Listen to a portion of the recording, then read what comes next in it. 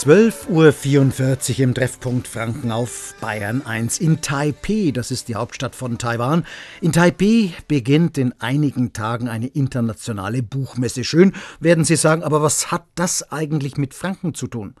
Eine ganze Menge, denn immerhin zeigt dort in Taipei der Nürnberg lebende Guido Häfner den Chinesen, wie alte Druckkunst mit einer historischen Presse funktioniert. Dirk Kruse hat Guido Häfner vor seiner Abreise nach Taiwan in seiner Werkstatt besucht. Die Druckerpresse von Guido Heffner ist gut 350 Kilogramm schwer. Der Künstler steht an der Maschine und färbt gerade seinen Linoldruckstock mit Druckerschwärze ein, einem Gemisch aus Ruß und Leinöl. So, dann tragen wir jetzt mal ein wenig Farbe auf, weil wir schauen müssen, dass wir möglichst gleichmäßig auf dem Linolschnitt auftragen.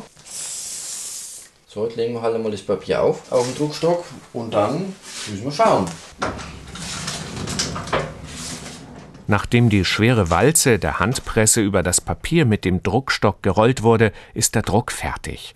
Es ist das offizielle Plakat der vier Länder Deutschland, Frankreich, Griechenland und Polen für die internationale Buchmesse in Taipeh mit englischen und taiwanesischen Schriftzeichen und einem Motiv, das Guido Heffner selbst geschnitten hat. Also für Deutschland haben wir jetzt Schloss Neuschwanstein gewählt, für Frankreich den Eiffelturm, für Griechenland die Akropolis, das einzige Problem war ein bisschen für Polen und dann haben wir halt eine Kirche aus Krakau rausgezerrt, weil es ja des Landes Katholizismus ist. Genau dieses Plakat und noch einige andere Linolschnitte wird Guido Heffner auf der Buchmesse in Taipeh fürs und mit dem Publikum drucken, weil die Taiwanesen alte Druckkunst gar nicht mehr kennen.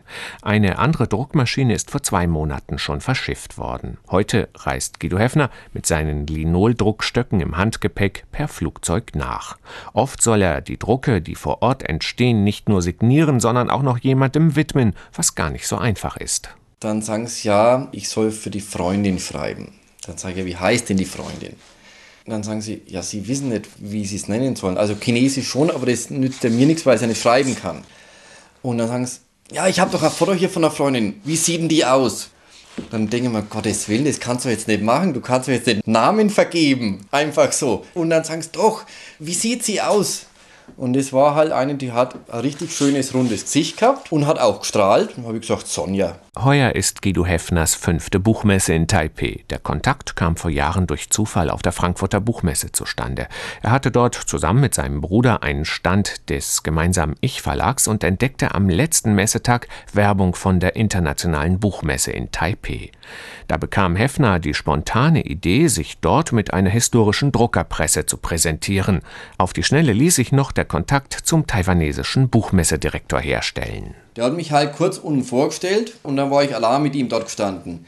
Ich mit meinem Brögerlers Englisch, er mit seinem Brögerlers Englisch, weil ich habe ja nicht Chinesisch können, er hat kein Deutsch können. Aber wir sind uns sehr schnell einig geworden. Er hat gesagt, ich soll halt kommen. Dann im Januar drauf nach Taiwan, weil es ist schön und gut, was wir machen, weil es was anderes mal ist.